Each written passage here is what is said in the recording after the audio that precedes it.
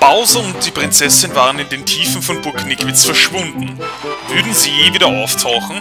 Hatte Marionis überhaupt eine Chance, Graf Nikwitz zu besiegen? Die Atmosphäre wurde mit jedem Schritt düsterer und bedrohlicher. Mario und Luigi bewegten sich schweigend weiter. Und wieder mal willkommen zurück zu Let's Play Super Paper Mario, Kapitel 8-3. Countdown der Zerstörung beginnt nun.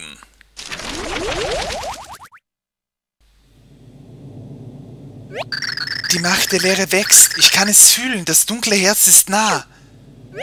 Das Ende ist fast da. Wir müssen uns beeilen.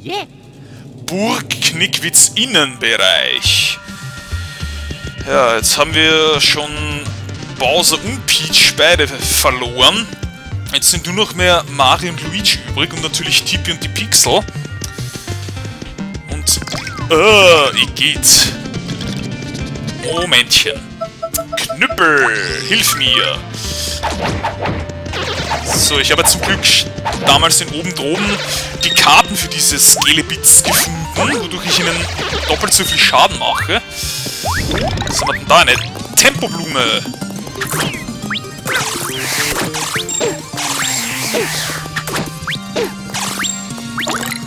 Und Kumpelkapseln, die ich nicht erwische.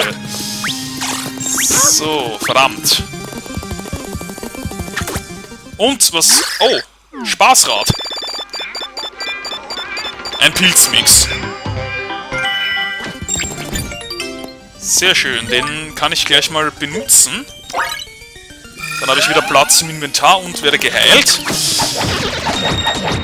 So. So. Na, haut ihr wohl mal ab.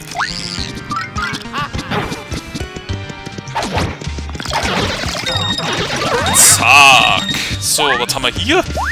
Eine langsam Blume. Wenigstens kriege ich dreimal so viele Punkte dadurch. Das ist schön. So. Sehr schön. Und viel Geld. Und weiter geht's. So. Uh, ein, ein... Ich glaube, die heißen nicht Quick-Täner, sondern Grunztäner. Schwupps. So, hier ist, glaube ich, sogar so ein ganz besonderer Raum. Hier darf man nämlich nicht unten lang laufen, sondern darf nur oben lang gehen. So. Ich muss kurz in 3D wechseln, um dieses Oh so bös abzuwehren. Also hier sind sogar zwei von denen. So, wenn man hier oben lang geht, erreicht man ganz normal die Tür und kann weitergehen. Ja, weil würde ich... Oh mein Gott, es ist... Dimensio? Nein, es sind Dimensios Klone. Und hier gibt es ganz schön viele Spiegel, aber von denen sind ein paar gar keine echten Spiegel, sondern, äh, wie soll ich sagen, Türen, also Durchgänge. Nun muss man das erkennen können. Also eigentlich da, überall da, wo, wo... Ein Sp oh, diese Viecher sind so nervig. Ja, seht ihr, das sind alles Dimensios Klone, die mich hier jetzt beballern. Das heißt, mein nächster Gegner hier wird wohl Dimensio sein. So, irgendwo hier... Ha, hier, seht mal, ich kann nach hinten gehen. Und hier hinten, auf der Rückseite, ist eine Schatztruhe mit einem Schlüssel, den ich unbedingt brauche. Sonst käme ich nämlich nicht weiter. So. Und hier wieder zurück. So, Alter, diese... Diese roten Viecher sind sowas von mega-mäßig ultra nervig. Hier, diese da. Die können so nervig sein, wenn die sich immer den Hals so lang strecken. So, genau, mit dem Schlüssel diese Tür öffnen und weiter. So. Was haben wir denn da? Ein Pilz. Und Boomerang-Brüder, die die Dimension wechseln können. Nicht so schön. Aua. Mann.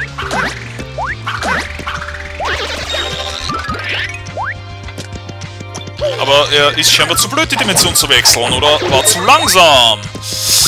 Aua. Ah. Ich hasse diese blöden... Na komm schon. Den kann man auch nicht auf den Kopf springen. Den kann man nur mit dem Hammer einen runterhauen. So, und eine Münzblume. Dann kriege ich hier auf einmal Geld. Ich weiß es doch auch nicht. So, es gibt ein bisschen Money. Kann man ja immer brauchen. So. Finde ich immer wieder nice. So, 287 Münzen schon. Uh, noch eine ganz fette. Ja, noch erwischt. So, du kannst mich mal. Und, äh, ein Zombie-Pilz, oder? Ich glaube, die heißen sogar Ghoul-Pilze. Das sind noch schlimmere und... Ich brauche einen Schlüssel, den ich nicht habe. Warum habe ich denn keinen Schlüssel? Ich glaube, hier ist wieder irgendein Geheimnis verborgen, was ich nicht gleich gesehen habe. Vielleicht ja in 3D. Oh, tatsächlich, die Treppe teilt sich hier. Ist ja geil. Oh, achso, verdammt, Bowser ist ja gar nicht mehr da. Dann eben so.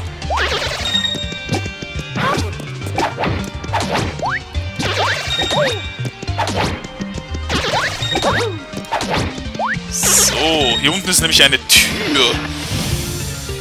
Sowas. Äh. Oh. Oh! Schon wieder diese blöden blauen Gespenster. Entweder sind sie blau oder rot oder gelb, je nachdem. Da ist noch eins. Aber die geben so schön viele Punkte, wenn ich sie erwische. Und zack, die geben 1000 Punkte. Und hier, glaube ich, muss ich jetzt irgendeinen bestimmten Block mit Luigi treffen. Ich weiß nur nicht welchen. Den hier? Haha! Das war richtig, der rechte Block und eine Tür. Sehr gut. So. Und hier... Oh, hier sind jetzt, jetzt die roten Gespenster. Ich glaube, die sind doch unterschiedlich stark, weil die unterschiedlich viele KP haben. Die roten halten nicht so viel aus wie die blauen. So, hier nehme ich jetzt mal den linken Block. Ah, das war falsch. Den mittleren? Ah, der mittlere. Okay. Einfach nur ausprobieren. So. Dann ist es bestimmt hier der linke Block. Oder... Moment mal, aber hier ist doch schon eine Tür, aber jetzt sind hier gelbe Gespenster. Na, wartet. Edge Bitch. Komm doch mal her. So, ich habe trotzdem irgendwie den... Wartet mal. Das ist nicht ganz richtig. Ich glaube, hier war nämlich eine Falle. Haha! Die Tür wird verschoben und hier ist... Das ist die richtige Tür. Clever! So. Was muss ich jetzt hier schon wieder machen? Ei! Jetzt sind hier alle drei auf einmal. Verdammt, verdammt, verdammt. Äh, Ultra Pilzmix. Volle Power! So, hier muss ich sich auch nochmal... Oder muss ich einfach nur alle Gespenster besiegen? Das kann nämlich auch mal sein.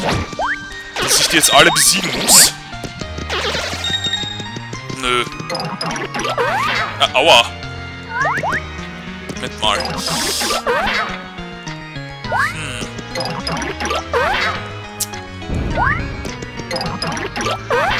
Tut sich überhaupt nichts. Muss man hier vielleicht in 3D irgendwas machen? Ah, 1, 2, 3. Okay, Mitte, rechts, links. In der Reihenfolge muss man sie treffen. Na, siehst du mal.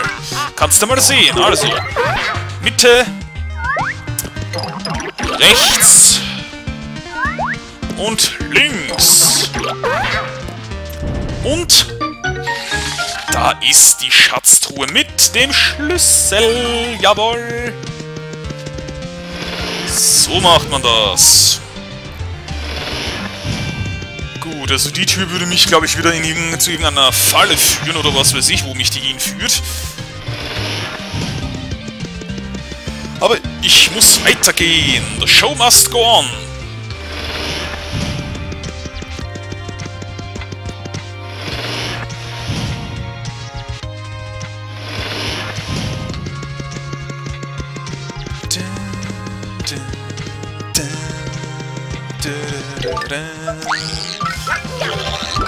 So, genau, jetzt komme ich hier nämlich wieder raus und jetzt kann ich auch die beiden Treppen wieder normal hochlaufen und zu der Tür gehen.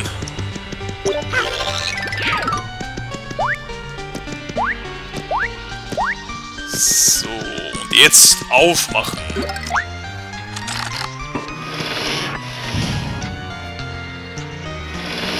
So, und ich wette, ich muss hier schon wieder oben lang laufen, oder? Oder nicht? Was meint ihr? Ich meine ja. Warum wäre das hier sonst so komisch? Oder hier ist ja noch mehr. Autsch! Ach, der Raum ist hier überhaupt total bekloppt. So. Oh, fies. Fies, Mann! Was soll ich denn hier tun? Oh Gott, wartet mal. Oh, schon wieder das Spaßrad. Uh, Superpilzmix. Das ist schön. Gehört schon nur mir. So, und ein Powerblock auch noch? Kann ich den gleich mal einsetzen? Oder? Nee, wartet. Äh, ich glaube, da musste man wie ein Vollidiot hoch und runter und runter und hoch laufen. Also so ganz, ganz komisch. Ich glaube, hier ist unten mal vorbei. Dann hier hoch. Dann hier hoch und hier vorbei. So, komm, ich setze jetzt mal diesen komischen Powerblock ein. So. Ha! Bam! Aha.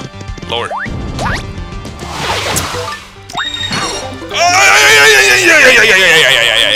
Du frisst mich hier nicht ein, du Mistvieh. So. Dann glaube ich, wenn man hier landet, unten durch, dann wieder hoch,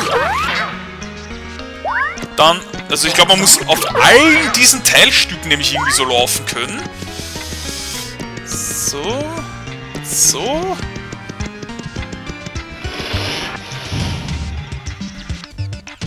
Ah, so schaut's aus im Puppenhaus.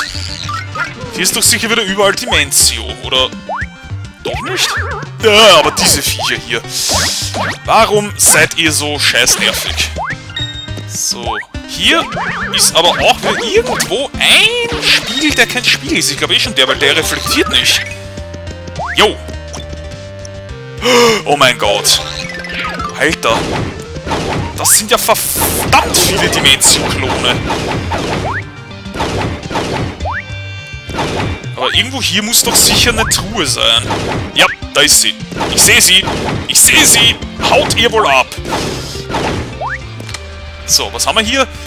Den Schlüssel. Und was haben wir in dem Block drin? Einen Superpilz. Full Power. So, wieder zurück. Gut, also ihr könnt es euch bestimmt schon denken, wenn hier Dimensio auftaucht. Seht ihr, genau deswegen hasse ich diese scheiß Missgeburten so sehr. Wenn Dimensio hier auftaucht, dann wird es garantiert einen Kampf auch gegen ihn geben. So. Hier könnte ich speichern, aber das will ich nicht. So. also habt ihr es schließlich doch geschafft. Äh, ja. Haben wir. Oh, aber wo sind denn die Hinreißen der Prinzessin und das hirlose Fuchtelärmchen? Dimensio, wir haben keine Zeit, uns mit dir zu streiten. Geh aus dem Weg. Ah, ihr seid in Eile. Dann will ich euch nicht aufhalten. Oh. Äh, was? Falls ihr mich besiegt. ihr seid würdige Gegner, daher werde ich es euch nicht leicht machen. Erst einmal müsst ihr mich kriegen. Wie Fangen spielen mit Magie. Stimmt ja. Seht mal, hier ist jetzt ein Riss. Und das heißt, ich brauche Filippo. Ich werde jetzt nämlich äh, Dimensio durch ziemlich viele Level verfolgen müssen, die ich im Spiel bereits besucht habe. Und immer wenn ich den Genau, immer wenn ich den Riss mit Filippo umdrehe, erscheint ein blauer Block und wenn ich da dagegen springe, werde ich weiter teleportiert. Wo sind wir hier? Seht mal da drüben! Ja, das hier ist die Straße von Lineria, also Level 1-1, hier waren wir schon mal. Genau das habe ich eben gerade damit gemeint. Ja. Nö, das wollte ich jetzt eigentlich nicht. So. Also wie gesagt, ich muss hier die Level jetzt nicht komplett machen, sondern ich muss einfach so weit im Level vordringen, bis ich wieder einen Riss finde und den dann eben mit Filippo umdrehe. Da muss man halt wirklich die Augen offen halten, aber die Risse machen Gott sei Dank eh auch Geräusche. Man findet die doch! Lol, denen wird schwindelig, wenn man sie dreht. Geil. Oh, Münzblume. Ja, wenn es ein bisschen Geld gibt, finde ich das auch schön.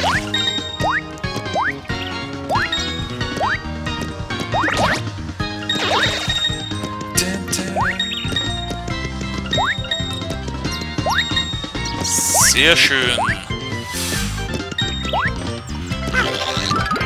So, irgendwo muss dann eben ein Riss sein. Fragt sich nur wo. Ah, ich höre ihn. Und ich sehe ihn. Ich weiß nämlich gar nicht, ob die Türen da jetzt eigentlich abgeschlossen sind oder ob die trotzdem aufgehen würden. Und wir sind in Melis Villa. Ist das Melis Villa? Äh, ja, hab ich doch gerade gesagt. Wir müssen ihm wohl hinterher. Ja. Ist so. Ist so, ist so, ist so. Ist nur die Frage... Oh, Moment mal, ich höre das ja schon. Aber den Riss kann man doch in 3D gar nicht sehen, der muss über mir sein.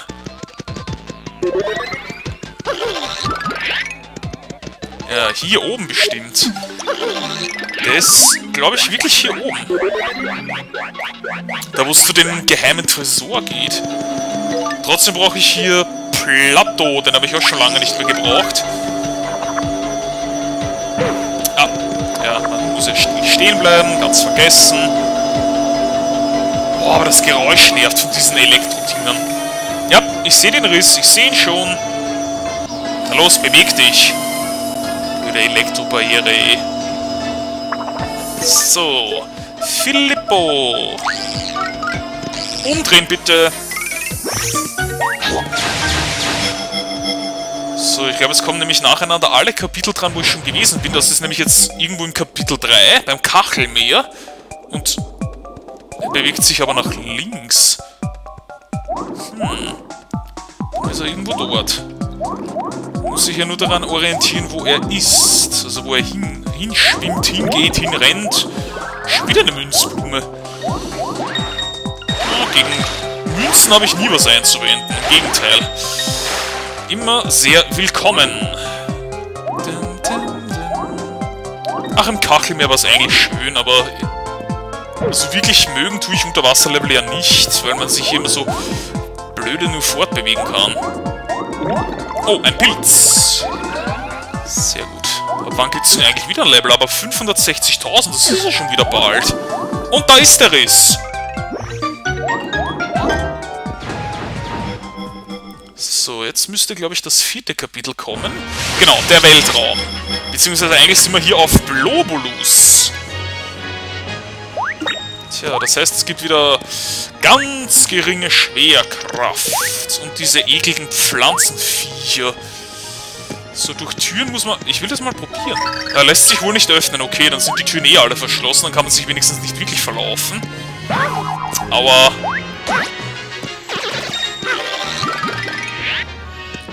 Ja, hoch. Und? Was bringt mir das? Ich komme doch hier nicht rüber. Ah, doch. Ganz vergessen, hier ist so ein schmaler Weg.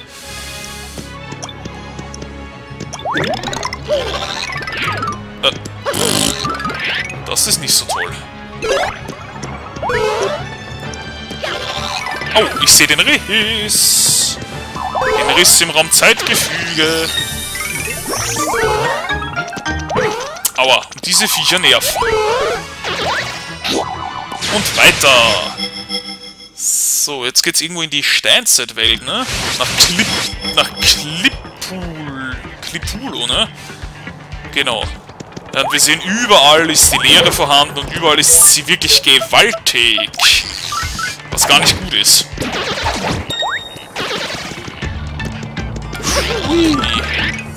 Ah, bestimmt hier unten.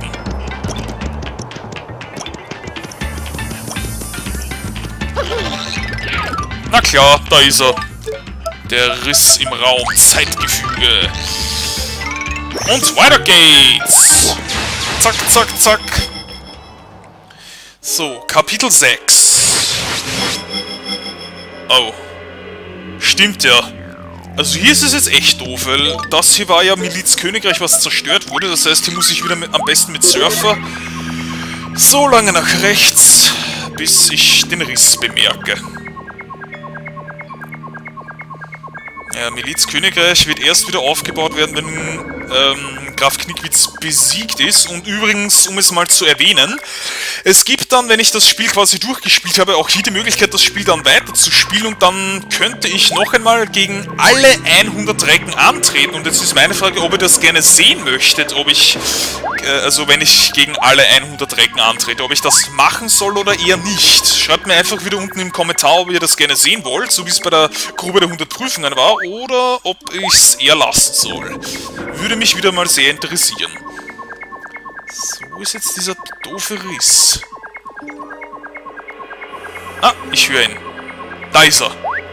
Ja, den kann man schon ein wenig übersehen. So.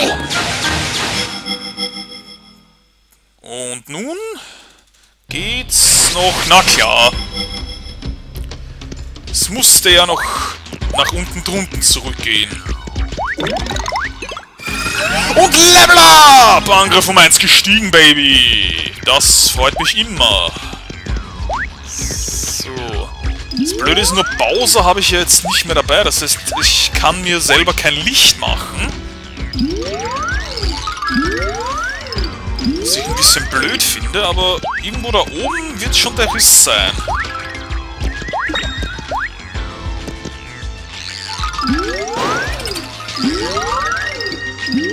Ich glaube, ich habe ihn schon gehört. Ja, ich höre ihn. Dieser blöden Finsterbus, ey. So. Und zack. Schwuppdiwuppdiwupp. So, und wir sind wieder zurück. Ach, endlich. Macht es Spaß? Nee, nicht wirklich. Hey, hör auf mit den Spielchen und kämpfe! Spielchen? Das Magie ist kein Spiel, ich meine es immer tot ernst. Ich habe euch beobachtet, nur ihr allein könnt Graf Knickwitz besiegen.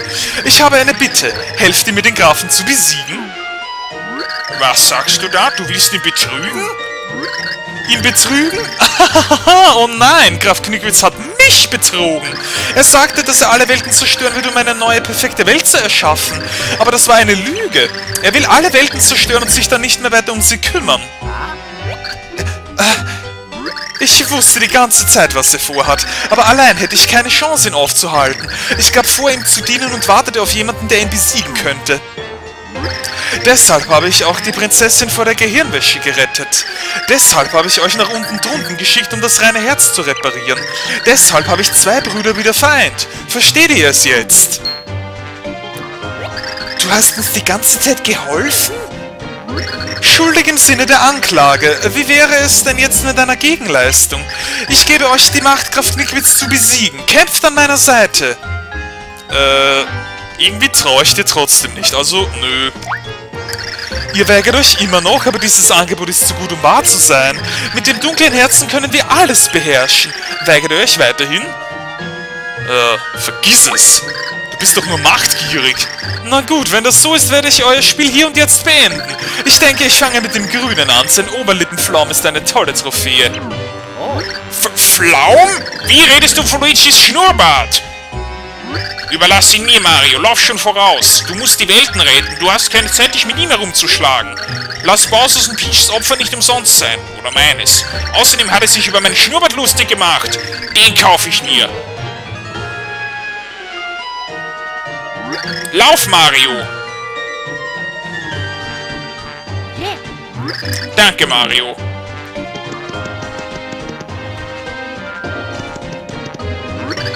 Haha, wie süß, mir kommen die Tränen. Ja, Mario kann vorbei. Und wenn es irgendwie schafft, Graf Knickwitz zu besiegen, umso besser. Und was dich angeht, für dich heißt es bald Game Over. Oh ja, jetzt muss ich mit Luigi gegen Dimensio kämpfen. Das war so klar. Und BAM! Haha, mit dem Superschwung ist es eigentlich am besten. Oh, fies.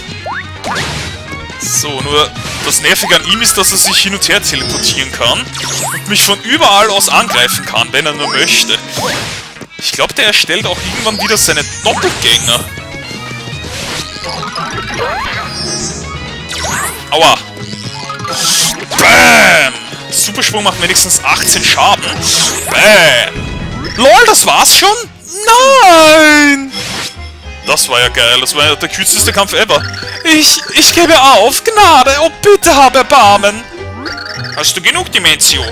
Mit dir bin ich auch ohne meinen Bruder fertig geworden. Ja, du bist wirklich stark. Und deswegen kann ich nicht zulassen, dass du dem Grafen mit die Hände fällst.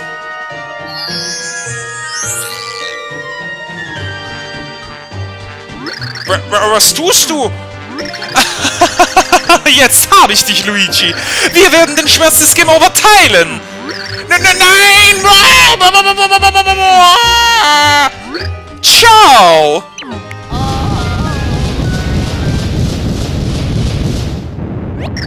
Luigi!